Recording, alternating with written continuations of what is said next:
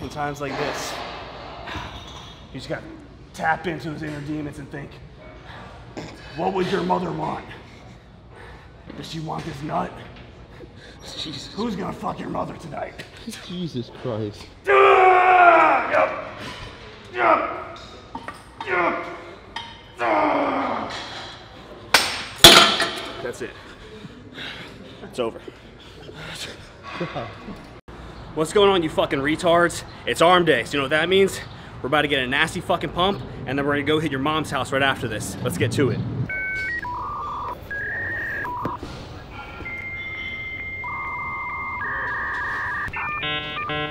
What's going on, you fucking retards? It's arm day, so you know what that means. We're getting a nasty fucking pump, and we're fucking, uh... What's going on, you fucking retards? Today we're hitting arms, which means we're...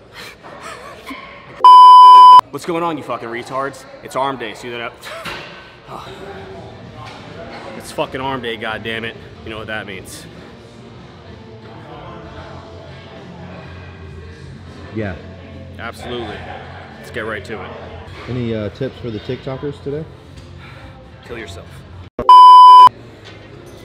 Okay, so first thing we're doing for arms today, as always, pretty much, I always start my arm workouts off with triceps, primarily because triceps are the bigger muscle group on your arms, so they are going to create not the illusion, but they're what's really going to make your arm look bigger, um, more so than your biceps. So I always just want to prioritize those, especially given the fact that they're also weaker compared to my biceps, uh, just for me. But I always start off with a unilateral cable push down because starting off with that unilateral movement helps to increase uh, motor unit activation or recruit more motor units is what I meant to say. But you just get a better contraction, you get everything stimulated, you get everything going to the right places, and it helps transfer into the following movements that I'll do for triceps by starting off with a unilateral movement, at least for me.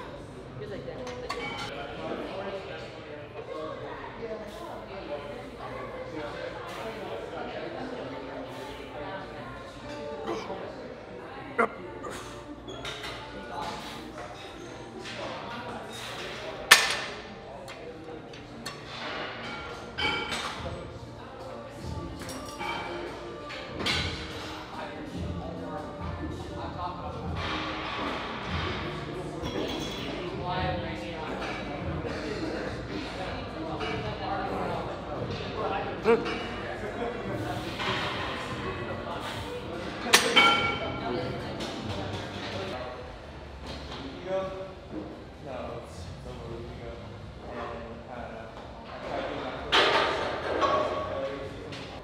right, so for triceps today, we started off with the single arm extensions, which I pretty much always start off my arm workouts with because triceps are my weaker body part compared to my biceps. So I always start with triceps and starting with that unilateral movement helps for uh, better motor unit recruitment. So you just get a better stimulus and just fucking more out of it essentially. I like to start my arm workouts with unilateral movements.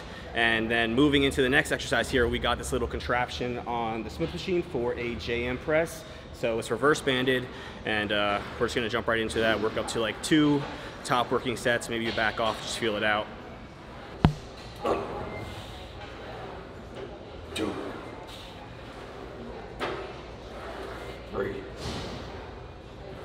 four, five, eight,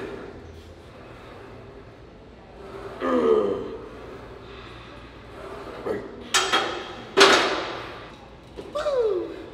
So, when we're doing this, we want to think of your mother bent over. What- Please elaborate on why that's what we would be thinking about. because it's going to drive your testosterone up and help you get an extra fucking rep. And that's what it's all about. It's still your mother fucking said you got more reps to go. So thinking of your mother bent over will specifically help in that aspect. But when it comes to the execution, what we want to be thinking of with the JM press is bringing the bar to around, you know, area, your chin, nose, eyes, basically right where your mother would sit. but it's going to be different for the individual. Some people are a little bit more comfortable, you know, around the chin. Some are more around the eyes. I'm bringing it to right around my nose. And as we do that, as we lower the eccentric, I'm going to be fully loading the triceps, not putting a ton of pressure on our shoulders, and then driving fully through the triceps as well, getting that full contraction at the top. So having intent with execution is always crucial in order to get the most out of movements because we could easily do this and just throw a bunch of weight on and just turn it into a bunch of fucking shoulder anterior delt work and take the focus away from what we're trying to do. So we don't want to do that. Always have intent with your execution.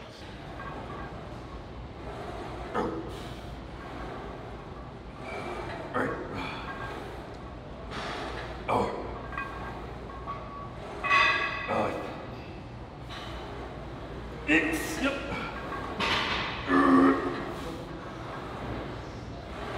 Eight. Nine. Ten. Roof.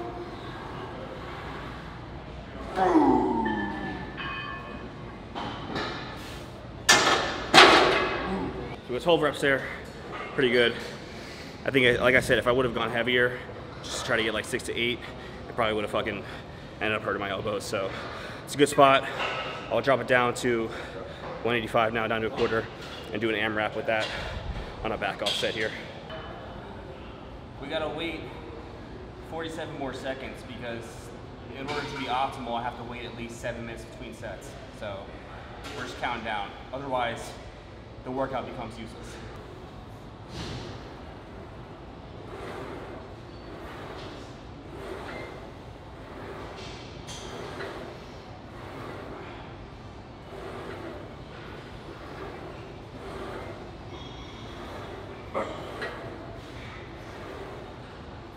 Yep.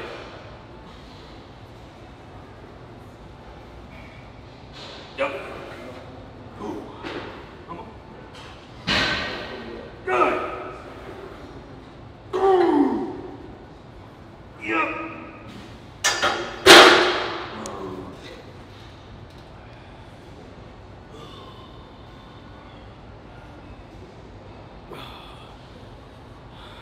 Mother's gonna love this pump. All right, so the third exercise that we're doing for triceps is this little variation of like a unilateral skull crusher with uh, the cables here and the cuff and this prime bench that we just got here. Uh, I saw this guy Eddie, this guy Eddie that trains here, do this the other day, so I'm giving it a shot, just messing around with it, trying something new. It feels pretty good, so I'm just gonna roll with it, do a couple sets, just keep going up in weight till I get to like probably like a top set around 12 to 15 reps, maybe stick there for one or two sets, maybe do a rest pause, alternating rest pause, something like that, and just see how it goes. Yeah, buddy. Uh, yep. Four. This is a little bit easier when you got the dominoes in you. Uh, seven, eight. I do you feel this. Nine. Ten. This pump's tighter than your mother. Actually, your mother's not that tight after got she had your fat ass. You fucking loser. How many reps is that? Ah. Okay. One more. Yep. Nope.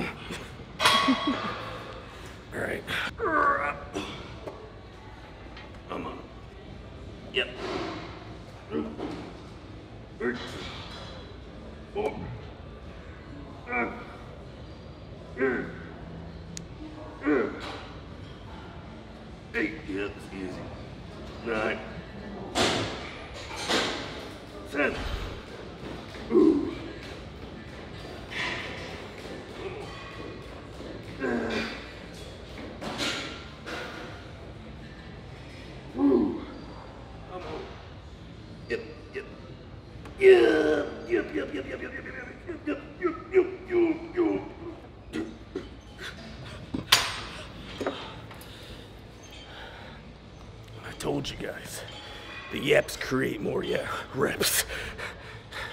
Yeps equal reps. Yaps equal reps, and more reps equal your mom. Everybody's looking at me.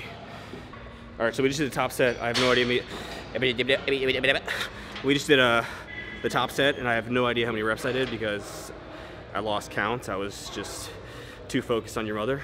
But now we're gonna drop the weight a little bit and do an alternating rest pause. So I've covered this before. Rest pause is, you know, doing all that set to failure, take a little short break where it's like, you know, you take 15 breaths around 20, 30 seconds, and then you go again to failure for like three rounds. But with alternating, we're not really taking an, an actual rest because we're just going back and forth between arms. So I'll do this arm, go to failure, go straight to the other arm, go to failure, go back and forth because the time that's spent doing the other arm counts as that little bit of rest for the arm that just went. So three rounds each arm, right to it. 12, 13, 14,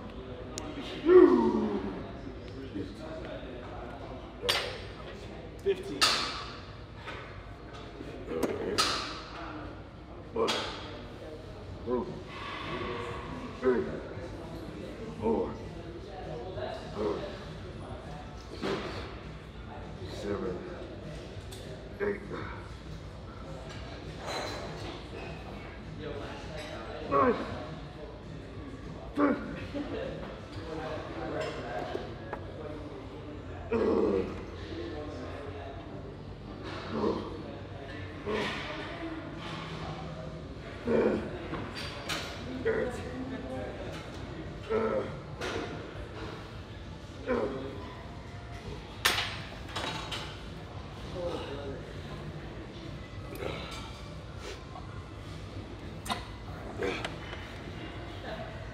One, two, three, four.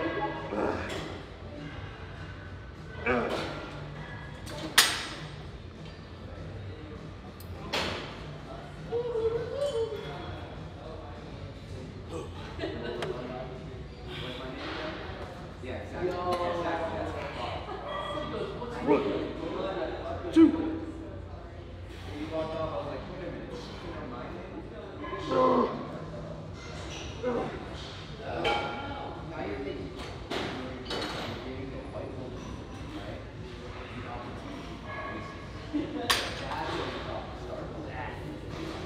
One more.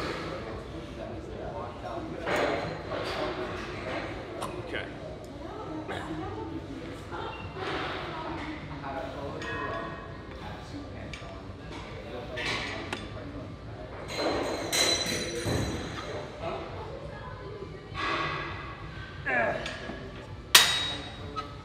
Yeah. One, two, three, two,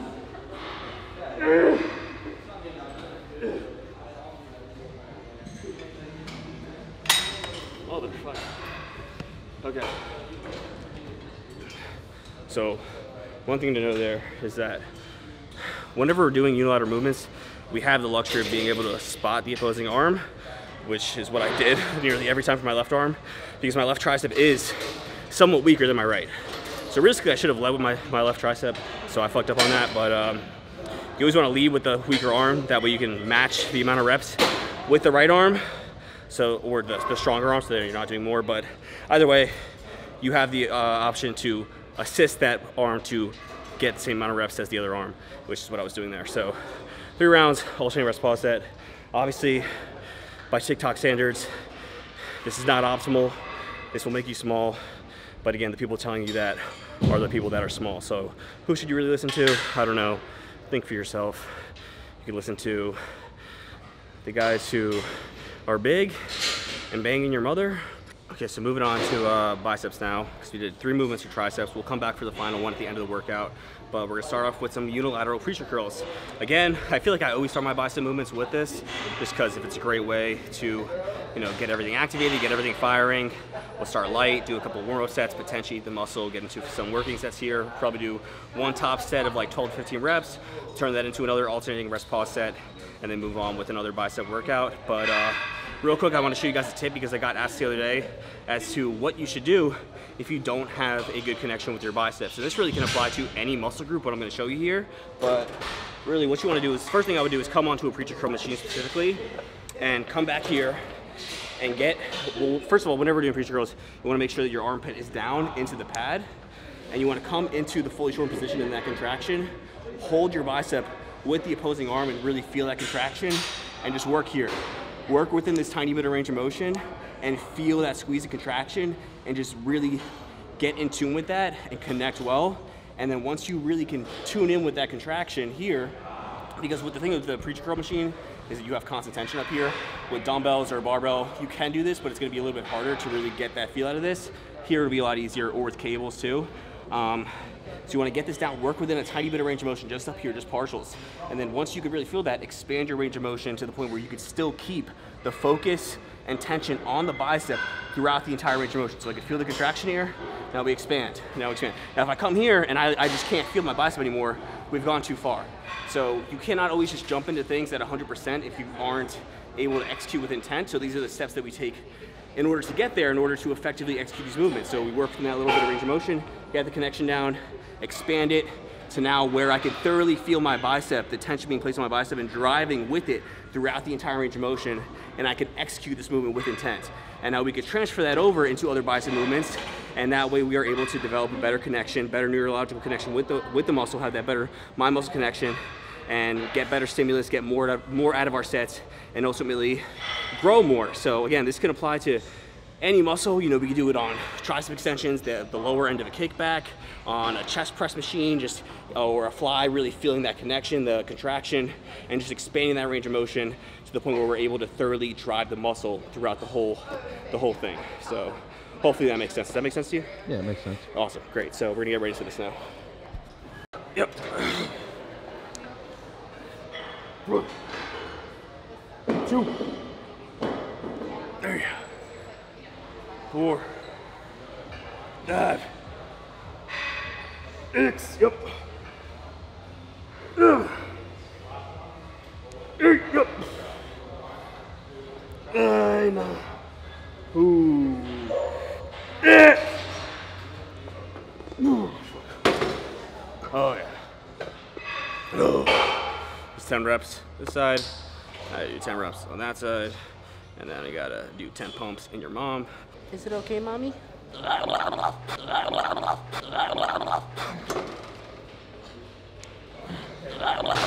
two, three, four, five, six, seven, ooh, eight, oh, nine, yep. Fuck, fuck, fuck. I'm not even here right now.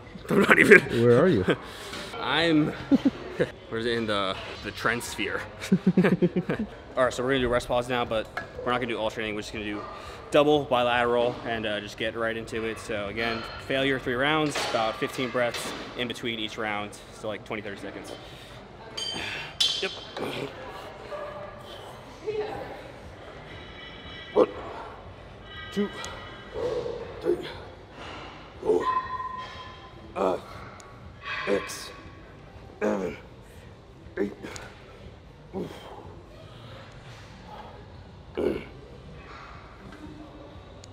Ah, two. Ah.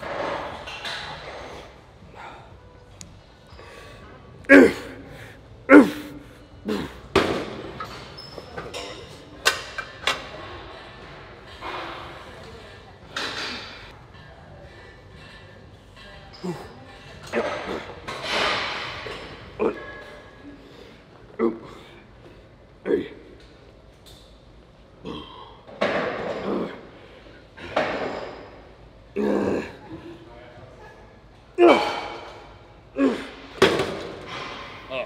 steer again. Just getting lower and lower. I was gonna say something really bad, but we can't. One, two, three, four, five. Yeah. Yeah. Come on. Ugh. Ah. Oh. What's next?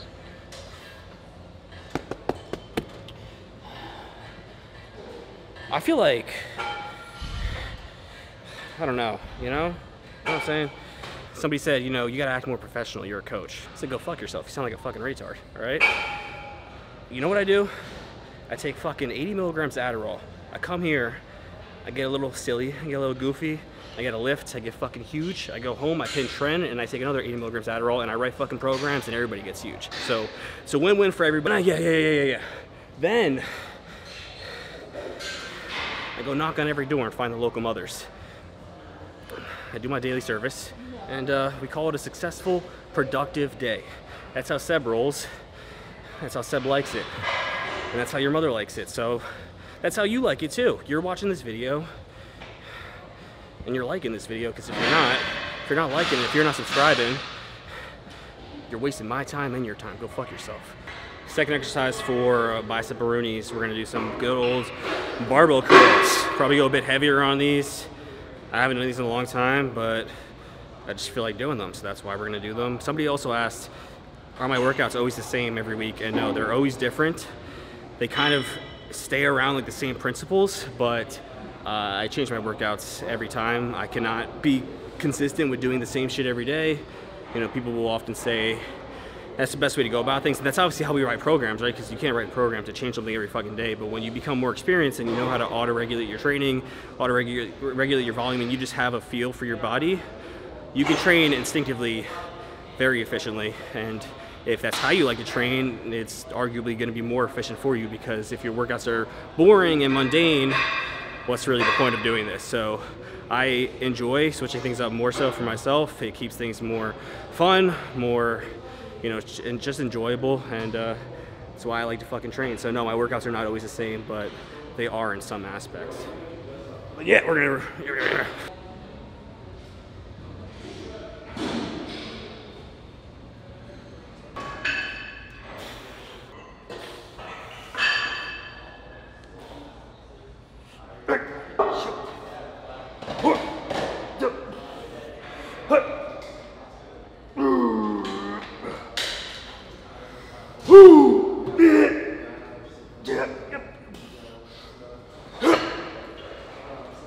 Oh,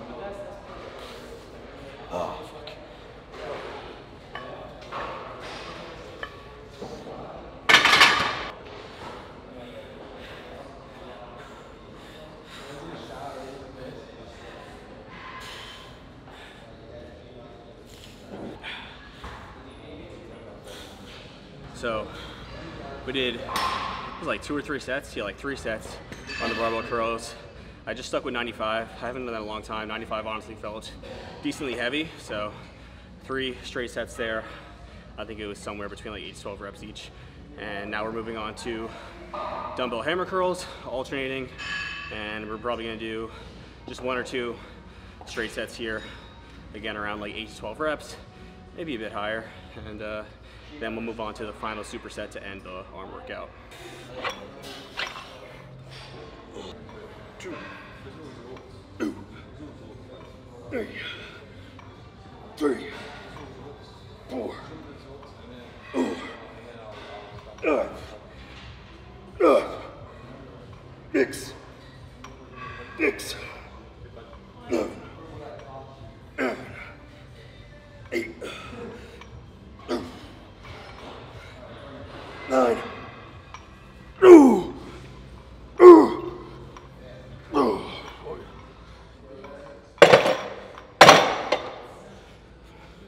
Feel the burn. Oh my god. Two. Two. Three. Three.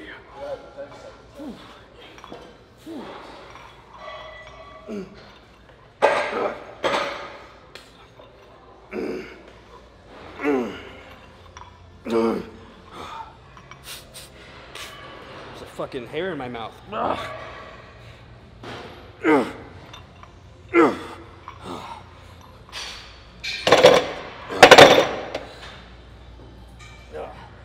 Tell your mother to shave next time. it's fucking nasty. Super sick. Right. What are we gonna superset? Your mother and your sister. Which one goes first? All right, so to finish up this arm day, we're gonna do this little tricep bicep superset here. So we got the seated overhead extensions with the rope attachment, and then we got lying cable curls here, bilateral as well, both arms. And uh, we're gonna aim for around 12 to 15 reps each. Just do two sets uh, of each one, and uh, just go to failure. End it with a nasty pump, and then after this, if everything's looking right, you know the juices are flowing, we're gonna head right over to your mother's.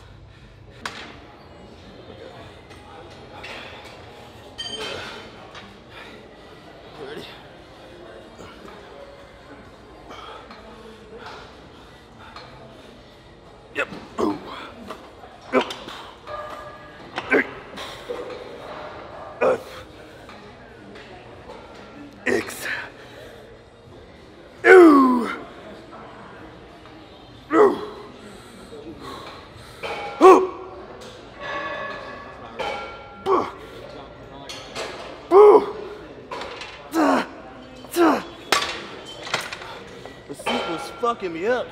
This goddamn motherfucking retard seat. Just bump it up. Just bump it up.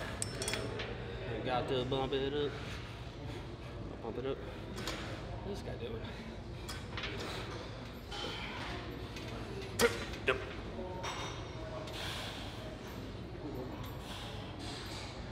Three. Uh, four. Uh, uh. Six. Yeah. Whoo. Yeah. Ah. Huh. Seven. Whoa. Come on. Huh. Ah.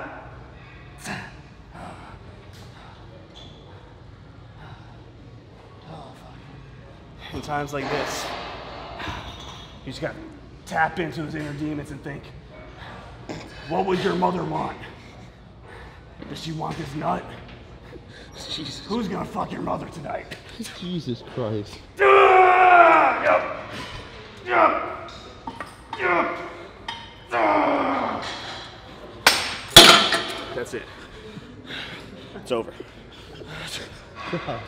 That's all for today's arm workout. I don't know how much volume I did. I don't know how many sets. You could probably count it, and I probably, you know, talked about it somewhat throughout the workout. So you could add it up if you want. You could try the workout if you want. You know, totally your call. But you guys know the drill. Make sure you're subscribed. Make sure you like this video. Don't take what I say to offense. I know some of you guys take what I say seriously. It's not my fault that some of you just don't have the minimum IQ to understand a lot of this is sarcasm. But on a more serious note, I got to get running. Your mother's waiting for me, and you guys know always use code SEB whenever you order anything from Raw Revive. Appreciate it.